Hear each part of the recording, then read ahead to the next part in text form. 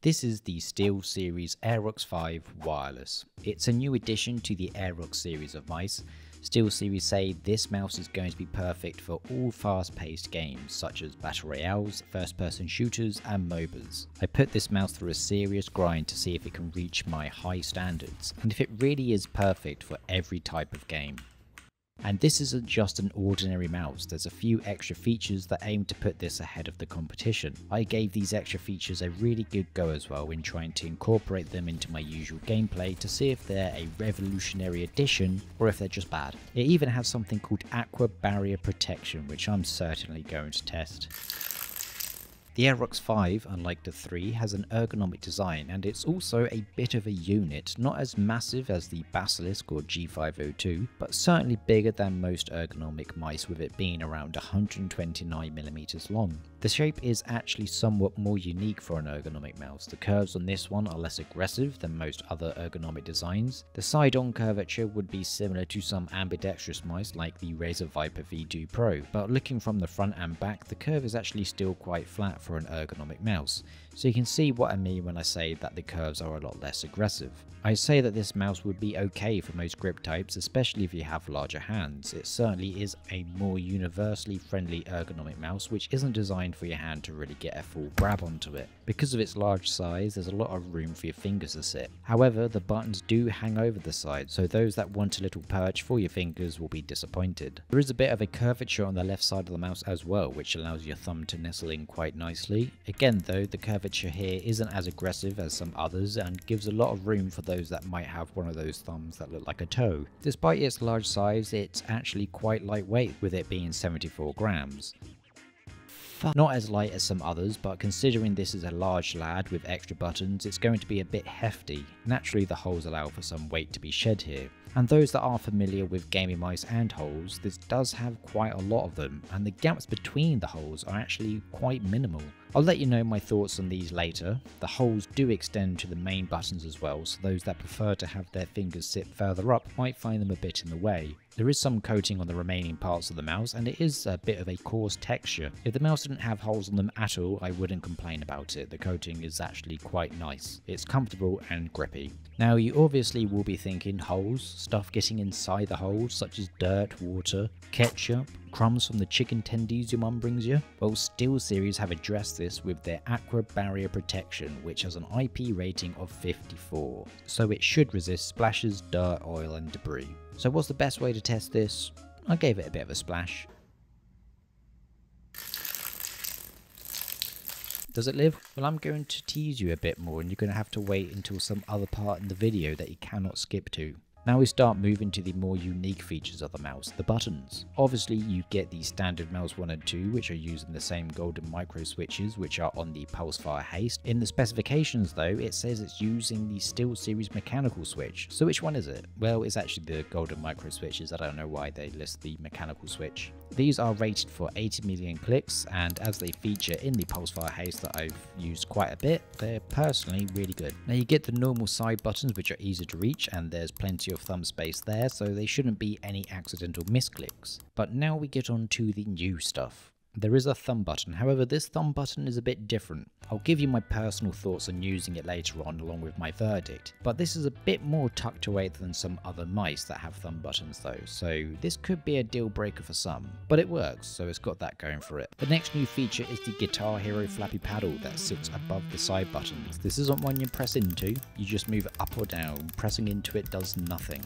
I have tried to use this often, which again I'll share my thoughts on using it later. In terms of feeling and accessibility, I think it's okay. It has a nice feel to it, very consistent so it's not like it's just been stuck on as an afterthought. I'd imagine it's meant to be used with your thumb, so it's somewhat easy to reach, but you might have to adjust your grip to really get to it, which might not be ideal. That's pretty much it for the newer features. You do get a DPI button as well. It's, it's really good, it's amazing. It changes through DPIs. The scroll wheel I actually do find is consistent with the mouse 3 click, and the scroll is nice as well. There's quite a bit of feedback going through the notches, but it's not so bad. I would say that it's stiffer than most scroll wheels I've used in recent memory. In terms of what's powering this mouse, you get the SteelSeries TrueMove Air sensor. As far as I know, it's just a PixArt 3335 sensor with a bit of modification that SteelSeries have made themselves. But you may be wondering if this isn't the top sensor, surely it's bad. Well, it's not. It won't be on the same level as some of the newer sensors in terms of what it's capable of, but for the average user, you're not really going to notice it. I think the only thing that might be noticeable is there's a brief wake up time and the default lift-off distance is higher than the average mouse.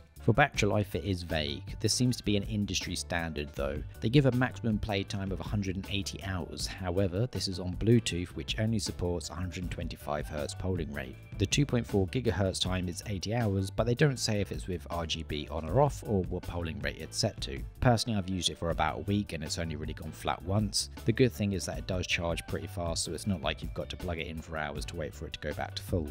For extras, you get PTFE feet, two large pads on the top and bottom, and a sensor ring as well. These are perfectly fine, and for those that are clueless, these will definitely be a lot smoother than the cheap plastic ones you might already have.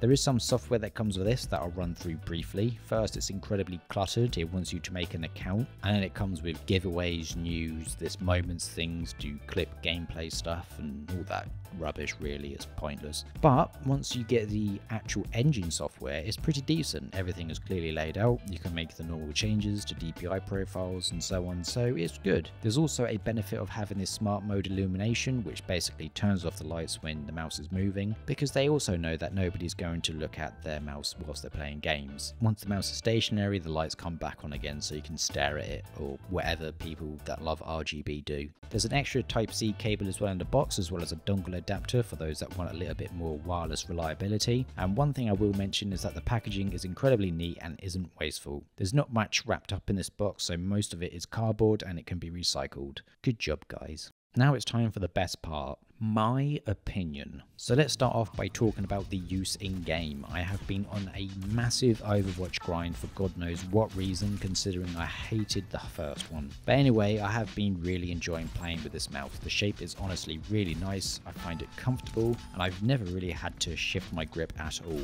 I've been also playing Dota 2 and Path of Exile, so in all the games that I've played it has done a great job with them all. It really is a comfortable mouse for me. But I can see the large amount of holes may be getting a bit distracting. And as mentioned before, there's not a whole lot of room for the main buttons, so if you're a claw grip user and don't want to have your fingers on the holes or rubbing against them, this might be a bit of an issue. And this is probably the first mouse that I have used that have had holes in them that I've actually noticed while playing. The extra buttons as well are a bit average. The thumb button I think is just too far away, so if you use a claw grip or your thumb just isn't long enough, you may not reach it at all. I mean, I can just about reach it, and it's not that comfortable because I do have to adjust my grip to actually get to it. And based on their own model on their website, it looks like with a claw grip you are just out of luck. The flappy paddle I think is okay. I don't think it's a complete failure, but I don't think it's a big hit either. If I could change it, I would make the button either have a matte coating instead of glossy, maybe come with grip tapes, and at least make it require less force to use. So if I want to use it for something important for a quick flick up or down, it can sometimes be a bit tricky to get some purchase on it, as you don't really want to have to spend a lot of thought on trying to hit it. You just pass your thumb over and it triggers whatever you want. I think it would have been better if it was just easier to trigger. Despite my gripes of it, I can see this maybe being a useful useful feature that I would like to see revisited and maybe more polished. But we're not done with the buts yet. There is a final but,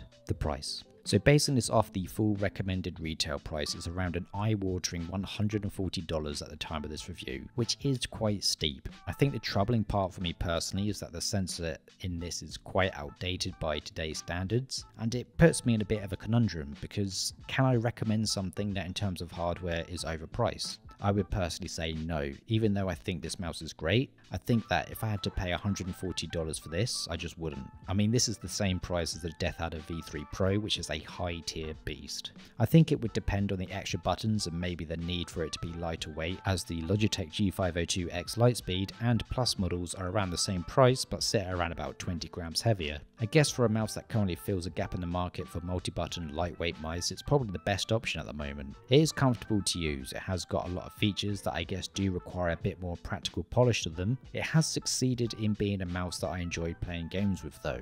I personally say it's best to wait for it to go on sale. I would say that maybe I would pay a maximum of around $100 based on my experience and with the included hardware. And did it survive the little splash? I put way too much water on it, so if it doesn't work, I won't be surprised.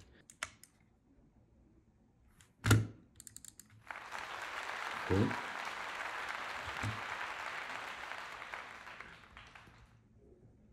It works. It's quite impressive.